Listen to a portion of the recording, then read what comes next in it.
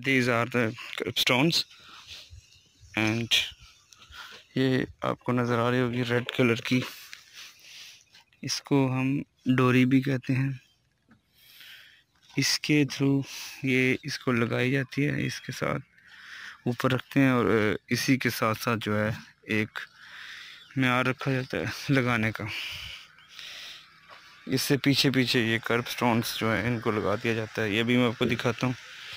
ये देखें जी, ये इसके ऊपर वाले फेस के ऊपर इन्होंने रखी हुई है। और इसी हिसाब से ये आगे जाएँगे और ये आगे तक जो है, इसके इधर फेस आएगा और ये लगाते जाएँगे। ये जो खाली जगह है।